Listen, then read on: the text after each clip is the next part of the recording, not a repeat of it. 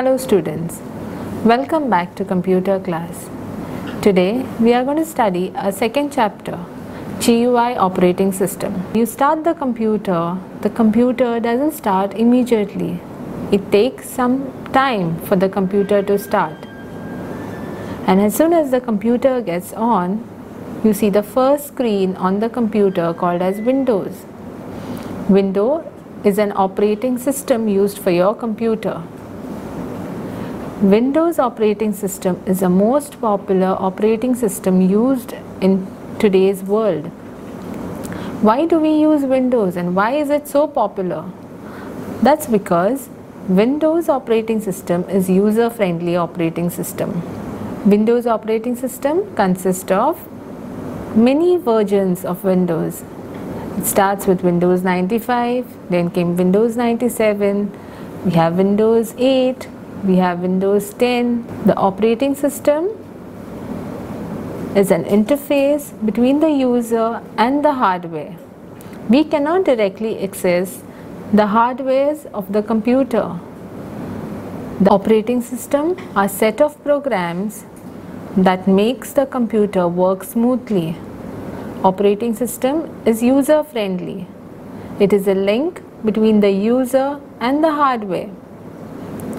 Operating system can detect errors present in the computer system. Operating system assigns tasks to the softwares. It also interacts with the hardware and the software. An operating system is user friendly. We can do multimedia. Multimedia like you can play games, watch movies, listen to music. All these things can be done on GUI operating system. We cannot do this on command based operating system. In class 3 we had studied about the desktop in brief. Today we are going to learn little more about desktop. Icons are the small pictures that are visible on your desktop screen. There is one of the icon which is the most important icon of the computer system. This icon is known as a computer. It is also listed as this PC. We can see that icon present here. This PC or this icon of the computer system is generally present on the left side of the desktop. When you double click on this icon with the help of a mouse, it shows the details of the drives present in the system. So these are the details, these are the drives that are present in the system. We have a C drive and a D drive. There are also drives such as F drive or G drive. All these drives are de depends on your system. It tells us the storage capacity of each drive. For example, the, D, the C drive, the storage capacity of this drive is 893 GB and D drive, the storage capacity is 24.9 GB. We also have a DVD and a CD drive. Control panel. Control panel is the facility center of the computer system from where you can control all other devices that are connected to your computer. It displays the icons of all systems that can be customized. We can customize the desktop by changing the desktop background, by changing the window color and the screensaver. Let us see how to change the desktop background. To change the desktop background, you have to right click anywhere on the desktop. Select personalize. Once you select personalize, they ask you the background whether you want it as a picture or a color or a slideshow.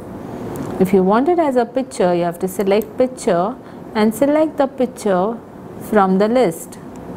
I select this picture in the list and I close it. So the desktop background here is changed.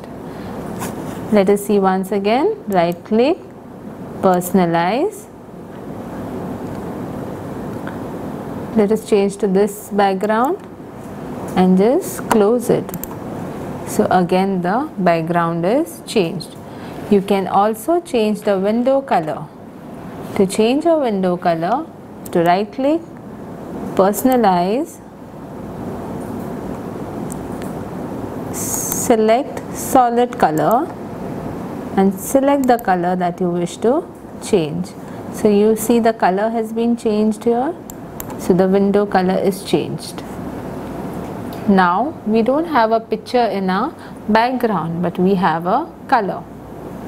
Similarly, we also have something as a screensaver. The screensaver is when your system is idle. For some time, there is a moving graphic or an object which appears on the screen. It disappears when you press any key on the key on the keyboard or just move the mouse. So let me show you the screensaver. Right click, click on personalize, click on lock screen, come right down, you have screen saver setting. So you, you up, a small window with a screen saver setting appears. Click on setting. Now here the setting is computer. Instead you can type Manovikas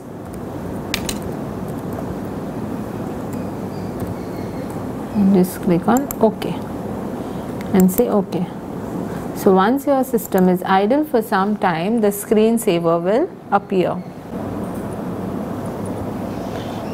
So now what we see on the screen is a screensaver.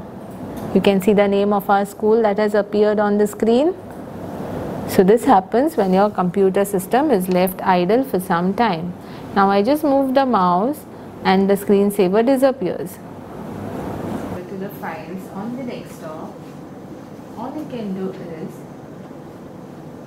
right click anywhere on the desktop, click on new and shortcut. The original file is placed in this folder called as computer. So I want a file that can create a shortcut on the desktop. So for that you have to just browse, check for the folder where it is, it's here, computer. So I want a shortcut of an image. So I click on the image and I say OK type the location of the item where you want. I want it on the desktop and then say next. Give a name to the file and say finish.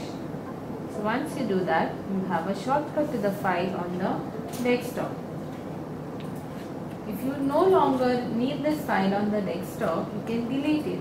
To delete the file, you to click on the file, right click on the file and say delete. So the file on the desktop disappears. Now let us look at the taskbar.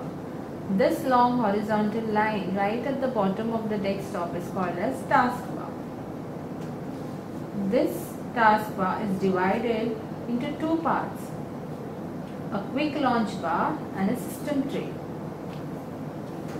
Quick launch bar is towards the left of the taskbar. This is the quick launch bar and towards the right of the taskbar we have a system tray. Quick Launch Bar displays files, folders, application programs and the system tray displays the volume, network, the battery, the date and time of your system. date and time on the computer is an inbuilt calendar. It's, it's to the extreme right hand side of the taskbar. To change the date and time, to right click on the date and time, select adjust date time. the window to change the date and time appears. Right now we have set time automatically. To set manually you have to put this off. Once you off this you can change the date and time manually. To change it click on change button. You get date and time. You can change it accordingly and then click on change option. if you wanted if you want to set it automatically click on set automatic time so now it's on so the time is going to be automatic and you have and you can then close it we can also adjust the volume of the speaker all you have to do is click on the speaker here towards the right of the taskbar you get the volume. Right now it's on 44. To make it louder, to just select, click on it and drag it. So this is how you can adjust the volume from low to high. You can also mute the speaker by just clicking on the speaker icon. Now it's mute. To unmute it, click on it again. Unmute. Thank you.